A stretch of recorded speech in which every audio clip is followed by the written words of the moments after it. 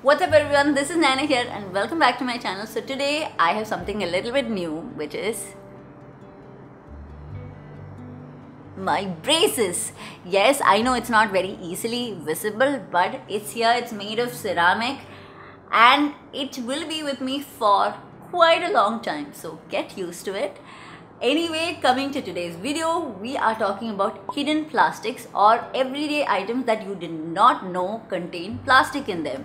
So we already have two videos covering these items which is part 1 and part 2. Make sure that you go check them out because they also contain a lot of items that has already been discussed and this video will be a part 3 which is a continuation of these things that we had no clue had plastic in them. So now let's get started. So the first and foremost item is band-aids. Yes, those band-aids that we put over our wounds or cuts or those are sadly made of plastic. It's usually woven fabric with plastic lining and adhesive but these days it's mostly completely made of plastic because of the ones which especially claim to be waterproof.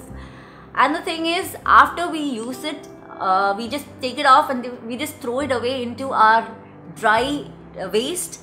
It is not dry waste it needs to be segregated with medical waste which not does not happen all the time and also even then it just ends up at the landfill because it does not get recycled at all so it is a sad reality that most of the band-aids we have is made of plastic there are compostable options outside India right now, but it hasn't come to India yet. I'm waiting for them to come to India or at least Indian brands to come up with similar band-aids. But until then, this is the only option that we have, which is kind of sad. So the next item is makeup. And I'm not talking about the plastic packaging that the makeup comes in, but the makeup itself that you apply on your face and body. They sometimes contain an ingredient known as nylon 12 which is used to give you know silky uh, soft texture to your makeup and these are usually polyamide additives which act as bulking or opacifying agents. Again, do we really need plastic on our faces all the time in the form of makeup? Do we? I don't think so I'm not asking you to just throw away all the makeup uh, products you already have which may have this ingredient in it because we are against wasting resources which we already have but the next time you go to buy a makeup product just make sure that you go through the ingredients list to make sure that this particular ingredient is not present because again plastic in makeup do we really need it we don't so say no to that the next time you buy makeup. So the next item that is very very common in almost all households is tapes. Tapes or cello tapes as we popularly call it.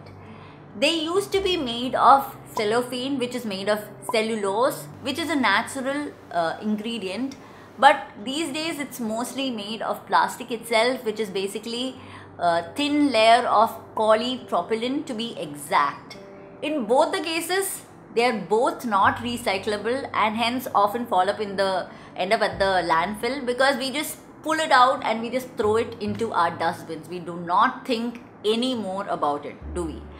So that can be a little bit problematic. The next item is cardboard food packaging. All those food packaging that your cereals come in, your muesli and all those come in, don't be fooled to think that they are actually made of cardboard because they always contain a plastic lining in them because this plastic is usually used for making those packages waterproof and moisture proof so if you try tearing a piece of that cardboard and putting it into water you will see that it doesn't get soaked up fully like normal paper would. And that shows that there is a lining of plastic in it. And usually it is not easily recyclable. Not all recycling facilities will be able to recycle it because you need to take apart the plastic from the paper before either of it can be recycled and in most cases the plastic lining does not get recycled because it's too thin to get recycled into anything and hence basically it is just something that is used to make a fool of us to think that it's, you know, kind of sustainable, but it's not. The next item is contact lenses. I know contact lenses are quite convenient for people who have eyesight trouble, but these are usually known as ocean waste because these contain uh, plastic polymers, usually water loving plastics called as hydrogels.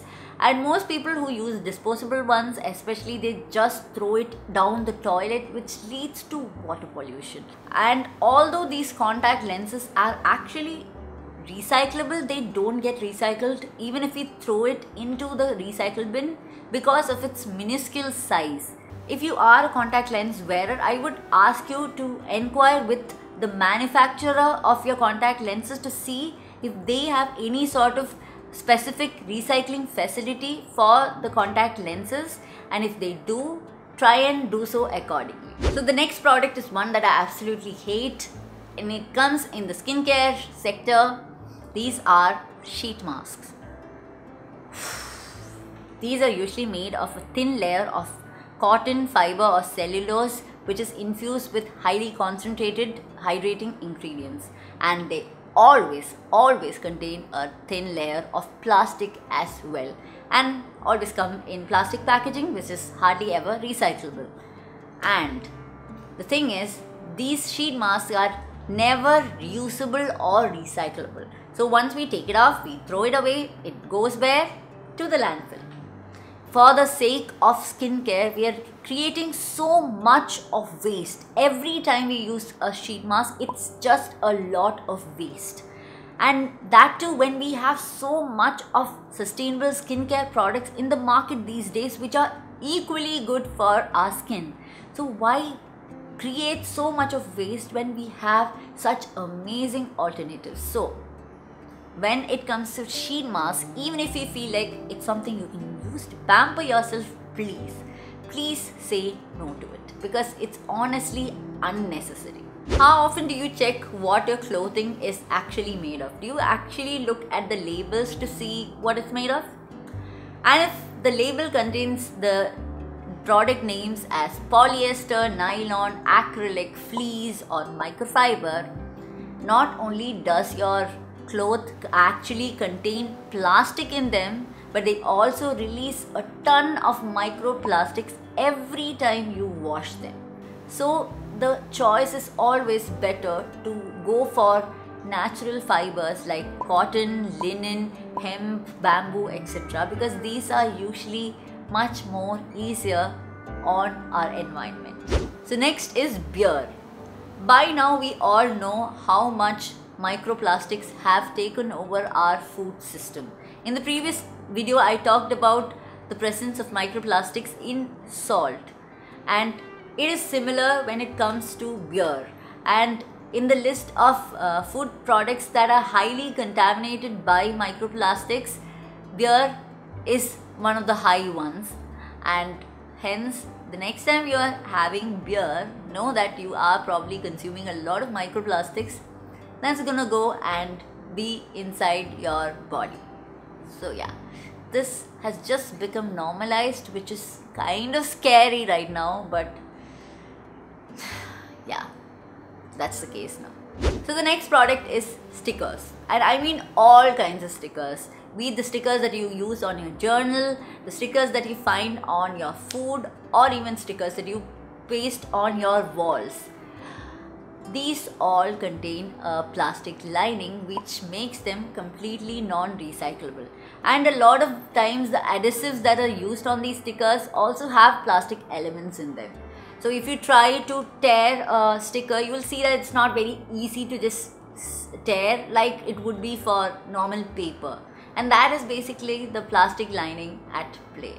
So if you ask me, do we really need those stickers? I would say we can do without them I know it's personal choice and a lot of people love using the stickers, but how long do you use them? You ultimately just throw away the books, journals, or anything that has those stickers, and just because of those stickers, even the papers in those books become non recyclable. That's a lot of waste that you will be creating. Otherwise, the book could probably have been completely recycled and made into new books, but because of those stickers in them, it becomes completely thrown away into the landfill. So just think about it. It's just something you need to put a thought to, and I would say it is something we can probably live without. So those were all the products which contain hidden plastic in them. So which was the one product that surprised you the most? For me, it was the makeup. Because I had no clue that makeup actually contained plastic element in them and I was kind of mind blown by that. And let me know what was the one thing that surprised you the most and comment below to let me know so we can discuss about it. And also make sure to give this video a thumbs up if you enjoyed it. And don't forget to subscribe if you have not done so already because we have videos coming out every single week with information on sustainability and veganism. So if you are curious about either of it make sure that you subscribe to the channel. And i will see you again in the next video. So until then bye bye